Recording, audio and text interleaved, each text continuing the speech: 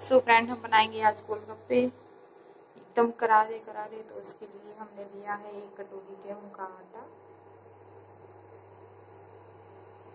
ध्यान रहे, जितना हमने आटा लिया था उतनी हमें सूजी लेनी है। एक कटोरी आटा था, एक ही कटोरी सूजी ली है हमने।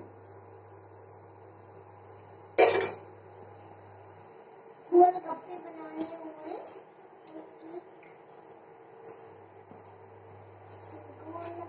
अब इसमें हम थोड़ा धीरे धीरे करके पानी डालेंगे।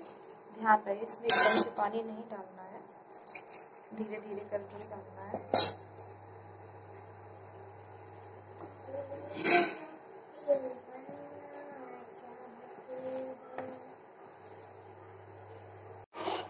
तो फाइनली हमारा ये आटा और रवा गुद के तैयार हो चुका है। आप लोग देख रहे हैं इतने अच्छे से हमने इसको सॉफ्ट कर दिया है। अब इसको एक हम कॉटन के गीले कपड़े से ढक के रख देंगे।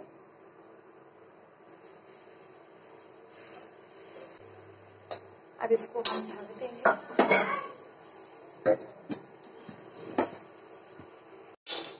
तो फ्रेंड, आधा घंटा हो चुका है, अब हम इसको देखेंगे। इसको हम अच्छे से थोड़ा और गूंथेंगे। दो से पाँच मिनट के बीच में।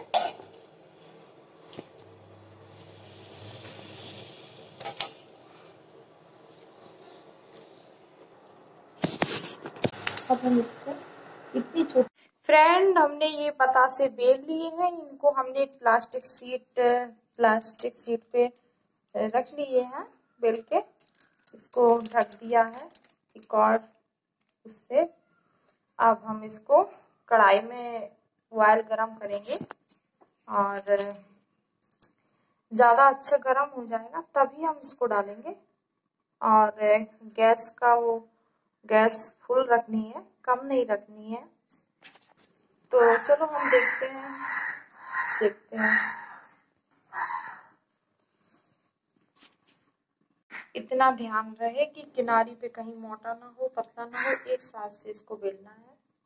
हमारी थोड़ी छोटी बड़ी हो गई है, क्योंकि हमारे पास कोई मशीन तो है नहीं, हाथ से बनाए हमने।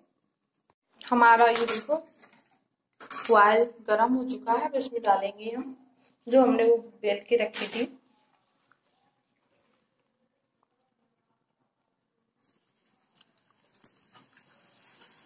इसको हम इस दबाएँगे थोड़ा थोड़ा जिससे कि ये फूल जाए।